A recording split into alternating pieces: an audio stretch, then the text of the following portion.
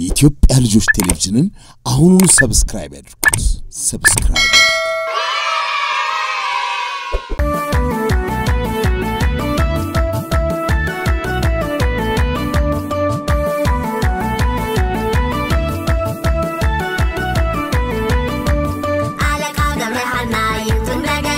እንዴት ናችሁ የኢትዮጵያ ልጆች?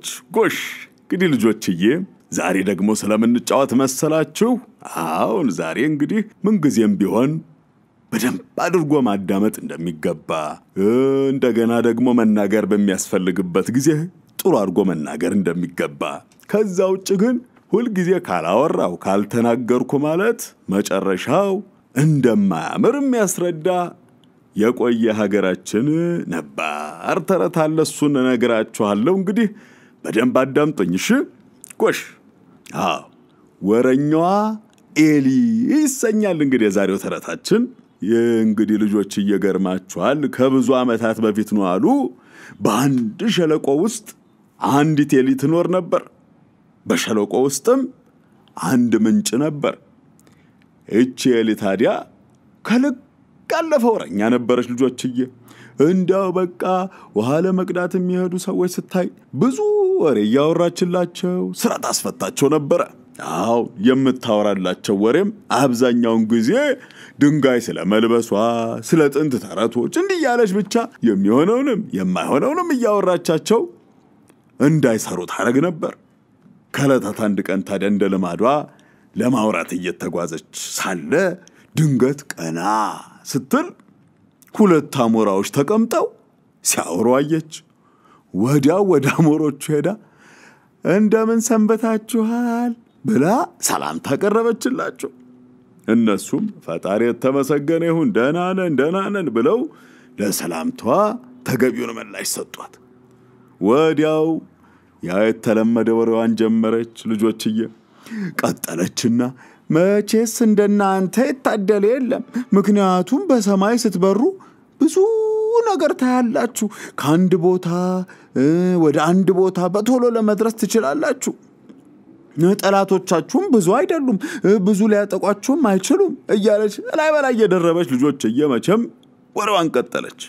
አሞሮቹ ግን አሁን ብዙ ነገር እናያለን፣ ከፈለግንበትም ቦታ በቶሎ እንደርሳለን፣ አንዳችንም ብዙ የሚተናኮሉን የሉም፣ እውነት ነው፣ ልክ ነው እያሉ ሀሳቧን በመደገፍ ብቻ ካሁን ካሁን ታቆማለች፣ ካሁን ካሁን ታቆማለች ብሎ እሷ ወሬዋን ቀጥላላችኋለች። ልጆችዬ ጭራሽ ጥሩ አድማጭ አገኘሁ ብላ ኤሊዋ ደስ እያላት ወሬዋን መሰልቀጥ ያዘች። በእውነቱ ከእኔ ይልቅ የሞተ ይሻላል። ወደ አንድ ቦታ ዘመድ ለመጠየቅ ሲሄድ እንኳን ልጆች ያገኙኝ እንደሆነ እያገላበጡ እየረጋገጡ፣ አቤት አቤት አቤት ስቃይን እኮ ነው የሚያሳዩኝ። በዛ ላይ ጠላት ያገኘኝ እንደሆነ ይህንን የድንጋይ ልብሴ ውስጥ ብደበቅ እንኳን አላመልጠው በጥፍሩ ቧጦ አሰቃይቶ ገለኝና አቤት አቤት አቤት እየቧጠጠ ይበላኛል እያለች ብሶቷንም ሌላውንም እያወራች ቀጠለች። አሞራዎች በእውነት ችግሯን አስተዋሉና አሳዘኗትምና ታዲያ እኛ ምን እናርግልሽ ብለው ጠየቋት። እሷም ይቺ ዓለም ለአንድ አፍታ እንኳን ለማየት እንደው እንደው እንደው ይችን ዓለም ለማየት በጣም እመኛለሁ። እስቲ ባካችሁ ለጥቂት ጊዜ እንኳን ተሸክማችሁ አዙሩኝ አትልም ልጆችዬ? ከዛ አሞሮቹ ደግሞ ታዲያ ምን ችግር አለው?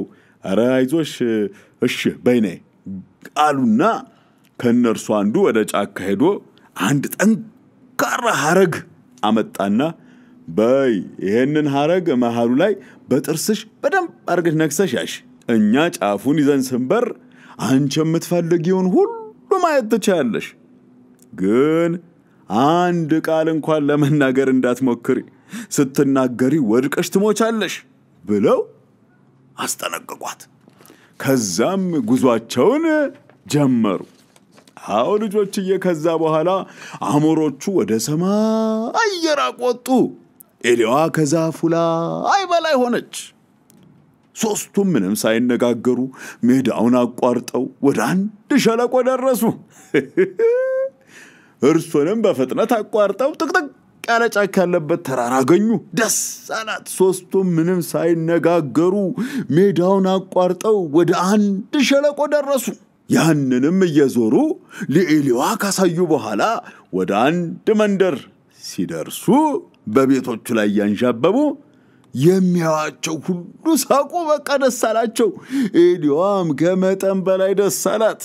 አይ ልጆችዬ፣ በተለይም በተለይም ልጆችዬ የምታውቃቸውን ሰዎች ሁኔታውን ተመልክተው ሲደነቁ በማየቷ ይበልጥ ኩራት ተሰማት። የመንደሩ ልጆች ኤሊዋን በአየር ላይ ተመልክተው እየሳቁ እንዴ ዛሬ ኤሊ ብላ ብላ ከአሞሮች ጋር በሰማይ ላይ ትበር ጀመር እንዴ እያሉ ሁኔታውን ይከታተላሉ። አንዳንድ ደግሞ ልጆች የዚህች ኤሊ ነገር አይታመንም፣ እሷ ለራሷ ወሬኛ ነች፣ ለአውራ ብላ ሐረጓን ብቻ የለቀቀች እንደሆነ መውደቁ አይቀርም እያሉ ሲተቹ ኤሊዋ ሰማቻቸውና ልጆችዬ ወዲያው አላስችል ብሏት እኔ ሞኝ መሰልኳችሁ እንዴ ለማለት ፈልጋ አፏን ክፍት ስታደርግ እየየየየየ ልጆችዬ የነከሰችው ሐረግ ለቀቀና የተምዘገዘገች ከመሬት ጋር ክፉኛ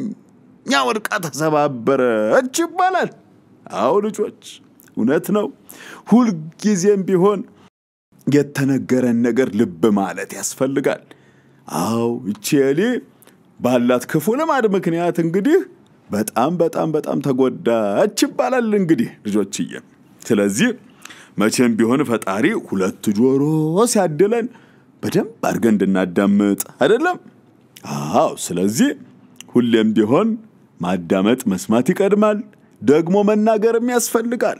መቼ መናገር በሚያስፈልግበት ወቅት ልጆች እያለ በለዛ የሰውን ስሜትም ሳያዳምጡ ያሉበትንም ሁኔታ ሳያገናዝቡ እንዲሁ ብቻ እኔ ብቻ ላውራ እኔ ብቻ ላውራ ከጓደኞቻችሁም መሃል ቆይ ቆይ አንተ ዝም በል ቆይ እኔ የምነግርህን ስማኝ ቆይ አንቺ እያሉ መናገር ቤተሰብም ጋር ሲጨዋወቱ ቀስ እያሉ ተራ በተራ መነጋገር እንጂ ማሚ አባዬ እማዬ ደግሞ እስቲ ቆይ እኔ የምናገረውን ስሙኝ እያሉ ብቻ መሆን የለበትም።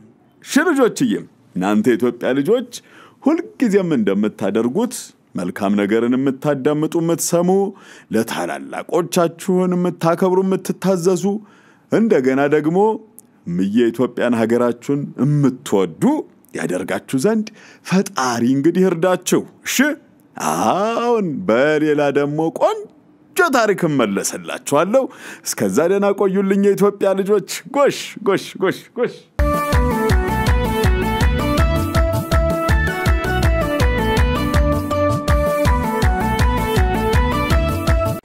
የኢትዮጵያ ልጆች ቲቪ የዩቲዩብ channel ን subscribe ያድርጉ።